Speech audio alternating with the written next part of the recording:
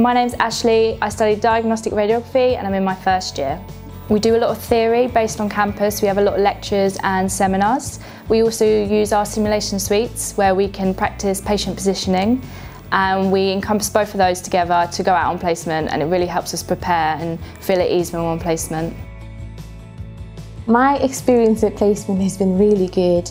I've learned so much um, in working with other professionals like doctors and nurses and surgeons. And as a radiographer, you get to experience different aspects of the job of each practitioner. I think that's really important. I got to experience that in a short space of time, and I'm looking forward to experience more with other professionals I haven't met yet, and I think that's really good. When we're on placement, we get to visit lots of different hospitals, so we get to see lots of different modalities. We go to MRI, CT, ultrasound, as well as general X-ray. The lecturers are great, very approachable. I believe all of them have been radiographers, so they all talk from their own experiences, which is great, and they all have their own stories that they bring to their lectures. From day one, they teach you that you're going to be working as a health professional. They will give you the tools and support you all along the journey.